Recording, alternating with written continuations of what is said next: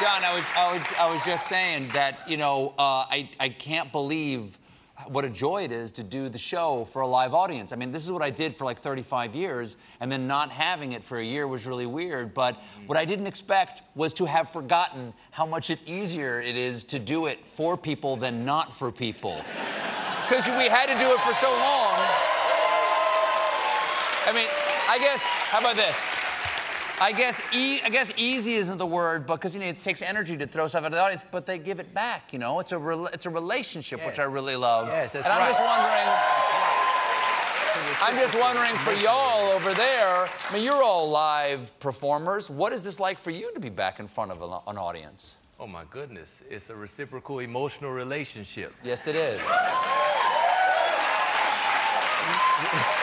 We, we, we do the show, we do the show with the people. That's what I would say. You know, Yeah. not just for the people, it's with the people. That's so exactly right. when you get back in, you really remember that.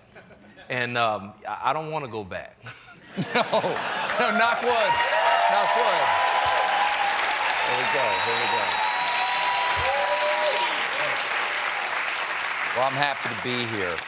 Because, you know, you folks, I spent a lot of my time gathering for you the finest, most topical stories about national studies, scientific breakthroughs, and drunk moose breaking into ice cream shops, only to have a pandemic hit, during which I take them into a sad, empty little room where my only friends are robot cameras and a Purell bottle. And I let myself go while slowly descending into madness as I shove my sweet, innocent little jokes into a segment that I am forced to rename Quarantinewhile. But sometimes I crawl out of the broom closet after 15 months, pour myself back into a suit, assemble the top team in the business, the swingingest band in late night, and the best damn audience in the world so I can return to your loving arms in the kick ass, properly presented celebration of marginal news that is my segment.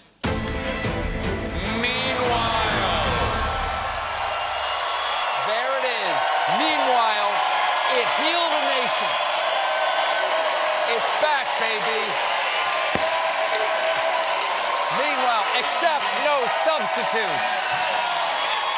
It's a milestone. It's a milestone for the world. And lo, it hath come to pass.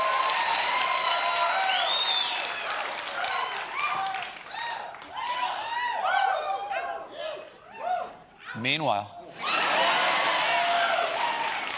in Massachusetts, Michael Packard, a commercial lobster diver, was swallowed whole by a humpback whale. Reminds me of that famous Bible story Michael Packard, the commercial lobster diver, and the whale. Now, the guy is totally okay and apparently was trapped in the whale's gullet for nearly a minute before being coughed back up.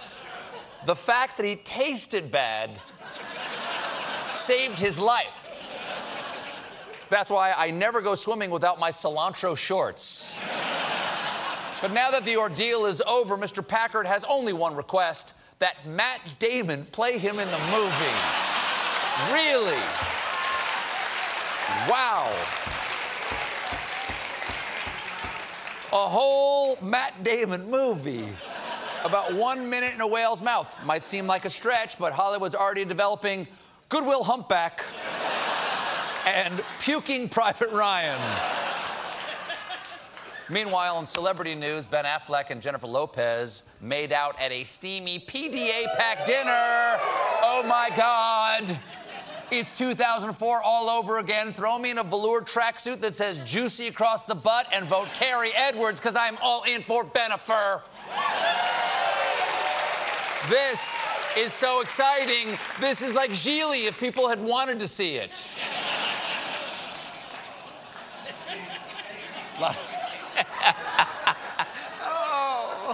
Some Gigli fans here tonight. Maybe all of the Gigli fans here tonight. Meanwhile, because of staffing shortages, the TSA is asking its office workers to help out at checkpoints this summer. Oh, good.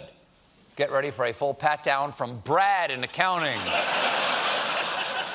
Program's already started with the TSA saying that offices have been sending up volunteers throughout the week and they've been accepted to deploy. Deploy? Chill out, TSA. It's the security line at O'Hare, not Vietnam. I'll never forget the look on the man's eyes when I told him he had to take his shoes off. We lost a lot of good water bottles that day.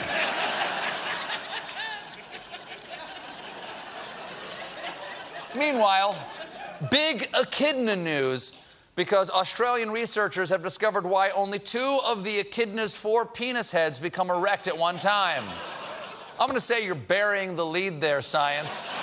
How can the fact that this little guy is rocking four dongs not be the headline? That's like reporting Dewey defeats Truman and his four penises, only two of them erect. We'll be right back with Dr. Sanjay Gupta.